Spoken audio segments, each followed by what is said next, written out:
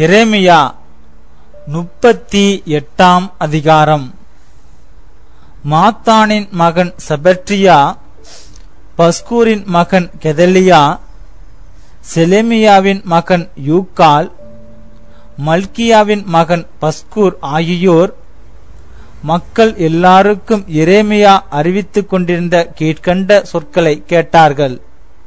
ஆண்டவர் இவ்வாறு கூறுகிறார். இந்நகரில் தங்கியிருப்பவன் வாள் பஞ்சம் கொள்ளை நோய் ஆகியவற்றால் மடிவான். கல்தையர் பக்கம் தப்பி செல்பவனோ பிழைத்துக் கொள்வான்.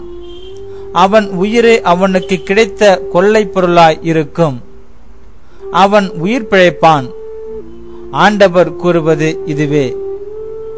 பாபிலோனிய மன்னனது படையிடம் இந்நகர் கையளிக்கப்படுவது உறுதி. அவனும் அதை கைப்பற்றி கொள்வான்.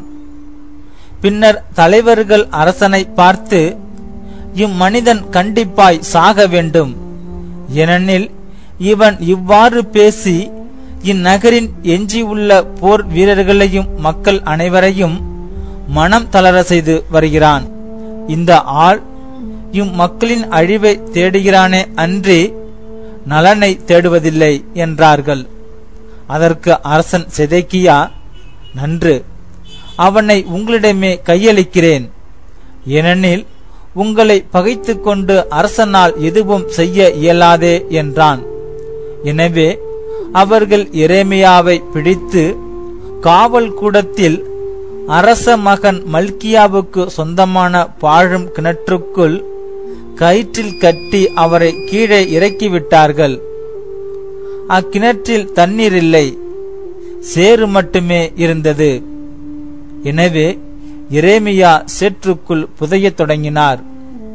அரண்மனையில் இருந்த அரசவையருள் ஒருவரான எபேது மேலேக்கு என்ற எத்தியோப்பியர் இரேமியாவை பாழும் கிணற்றில் தள்ளப்பட்டதை அறிய வந்தார். அப்பொழுது அரசன் பெஞ்சமின் வாயிலில் அமர்ந்திருந்தான்.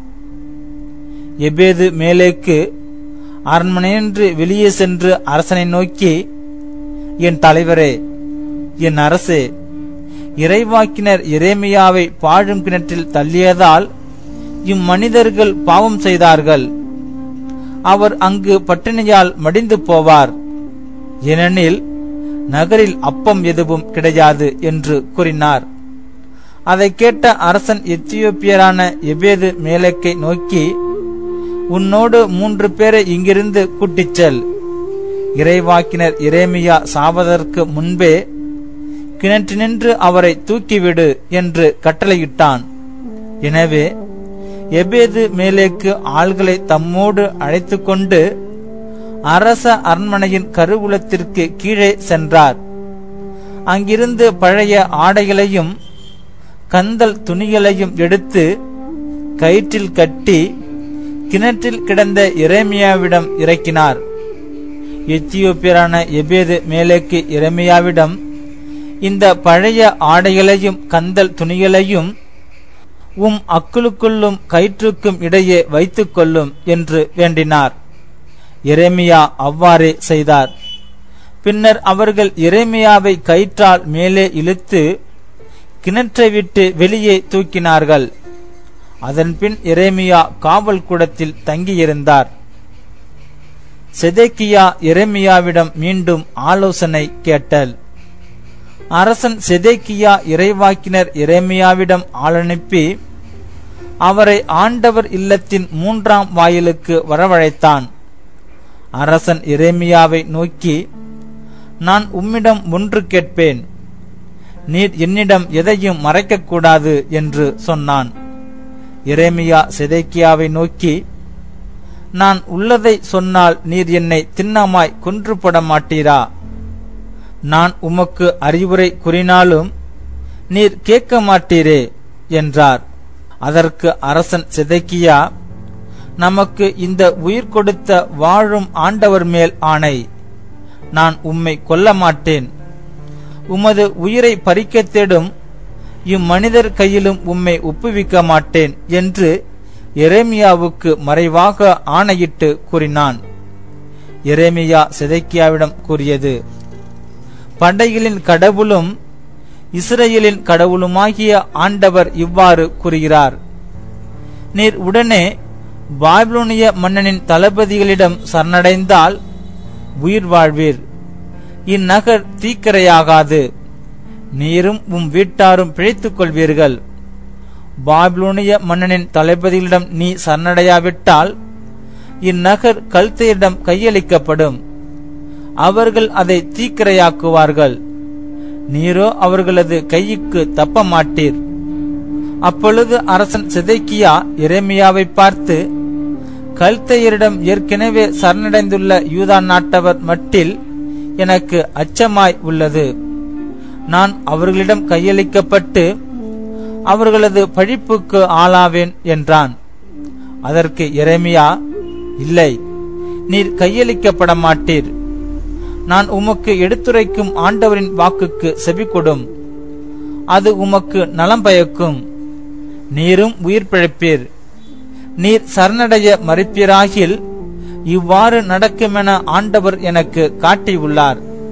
யூதா அரசனின் அரண்மனையில் எஞ்சியிருக்கும் பெண்கள் எல்லாரும் பாபிலோனிய மன்னனின் தளபதிகளிடம் கொண்டு செல்லப்படுவார்கள்.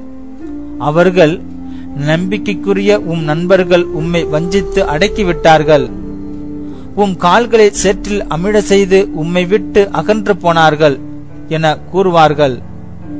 உம் மனைவியர் மக்கள் அனைவரும் கல்தேரிடம் கொண்டு போகப்படுவார்கள். நீரோ அவர்கள் கைக்கு தப்ப மாட்டீர் மாறாக பாபிலோனிய மன்னனால் நீர் பிடிபடுவீர். இந்நகர் தீக்கிரையாகும் என்றார். அதற்கு செதைக்கியா இறைமையாவிடம் நாம் பேசிக்கொண்டது யாருக்கும் தெரிய வேண்டாம். அப்படியானால் நீர் சாவுக்குள்ளாக மாட்டீர். நான் உம்மோடு பேசியதாக தலைவர்கள் கேள்வியுற்று உம்மிடம் வந்து நீர் அரசரிடம் என்ன கூறினீர்? அரசர் உம்மிடம் என்ன சொன்னார்? எங்களிடம் எதையும் மறைக்காதீர். நாங்கள் உம்மை கொல்ல மாட்டோம் என்று சொன்னால் நான் மடிந்து போகாதவாறு யோனத்தான் வீட்டிற்கு என்னை மீண்டும் அனுப்பி வைக்க வேண்டாம் என்று நான் அரசனை வேண்டிக் கொண்டேன் என்று நீர் அவர்களிடம் சொல்லிவிடும் என்றான். பின்னர் தலைவர்கள் அனைவரும் இறைமையாவிடம் வந்து அவரை வினவிய பொழுது அரசன் சொல்லியிருந்தபடியே அவர் பதில் உரைத்தார். எனவே அத்தோடு அவர்கள் நிறுத்திக் கொண்டார்கள். பேசியதை யாரும் ஒட்டு கேட்கவில்லை. எருசலேம் கைப்பற்றப்பட்ட நாள் வரை எரேமியா காவல் கூடத்திலேயே இருந்தார்.